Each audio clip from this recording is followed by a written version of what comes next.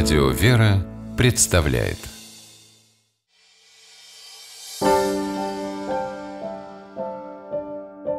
Апостольские чтения Здравствуйте, дорогие друзья! С вами преподаватель Московской Духовной Академии священник Дмитрий Борицкий.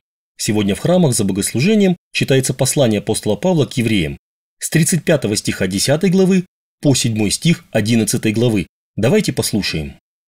«Не отлагайте уба дерзновения вашего». Итак, не оставляйте упования вашего, которому предстоит великое воздаяние. Терпение нужно вам, чтобы, исполнив волю Божию, получить обещанное. Ибо еще немного, очень немного, и грядущий придет и не умедлит. Праведный верою жив будет. А если кто поколеблется, не благоволит к тому душа моя. Мы же не из колеблющихся на погибель, но стоим в вере к спасению души.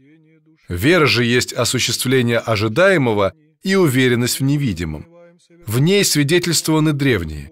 Верою познаем, что веки устроены Словом Божиим, так что из невидимого произошло видимое.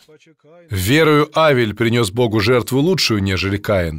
Ею получил свидетельство, что он праведен, как засвидетельствовал Бог о дарах его. Ею он и по смерти говорит еще.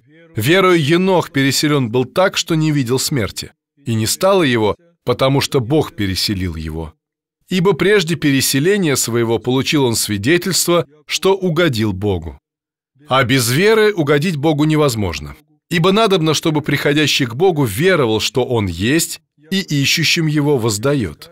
Верою Ной получил откровение о том, что еще не было видимо, благоговея приготовил ковчег для спасения дома своего, ею осудил он весь мир и сделался наследником праведности по вере. Я же по вере правды быть наследник.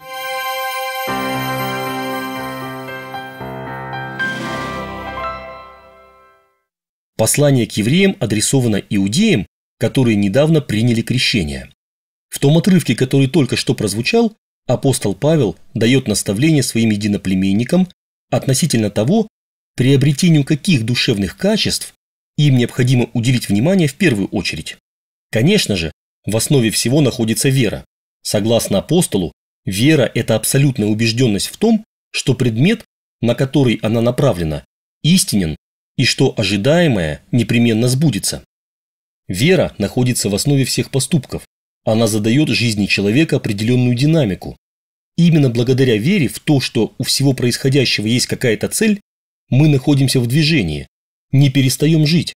И напротив, когда пропадает вера в определенную цель, человек останавливается, впадает в пассивность, в итоге умирает. Яркий пример Евгений Базаров, герой романа Тургенева «Отцы и дети». Разочаровавшись в жизни, потеряв цель, он погружается в глубокую тоску и уныние, теряет интерес ко всему на свете, в том числе и ко всем своим предыдущим социальным проектам. Своему товарищу Аркадию он говорит, а я возненавидел этого последнего мужика, Филиппа или Сидора, для которого я должен из кожи лезть и который мне даже спасибо не скажет. Да и на что мне его спасибо? Ну, будет он жить в белой избе, а из меня лопух расти будет. Ну а дальше? Нет веры, нет цели, нет движения, нет жизни. Чем выше цель, чем крепче вера, тем интенсивнее движение, тем насыщеннее жизнь. Вера в Бога дает человеку много больше душевных сил, чем вера в материальные блага. Она открывает в его собственном сердце такие просторы, которые всегда будут скрыты от тех, кто цель своей жизни видит исключительно в земном. Помимо веры, по словам апостола, человек должен обладать еще такими качествами, как терпение и стойкость. В чем их важность? Наша вера должна каким-то образом возрастать. Это происходит лишь в том случае, когда сил верить в цель у нас уже нет, но мы все равно продолжаем упорно двигаться в ее направлении. Как говорится, на одних волевых. Терпим боль от того, что потеряли всякие ориентиры в этой жизни, но все же стойко ее переносим. Для нашей веры, по словам апостола, это самое благодатное время.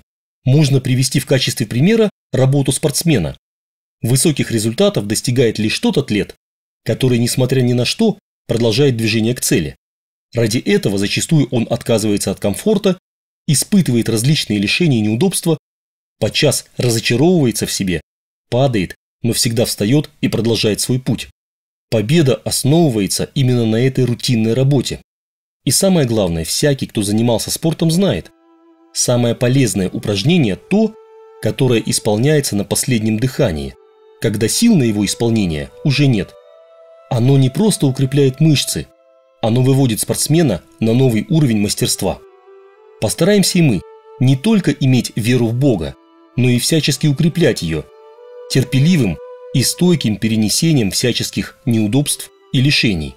Только таким образом мы сможем достичь главной цели нашей жизни – единства со Христом, которое есть Царство Небесное.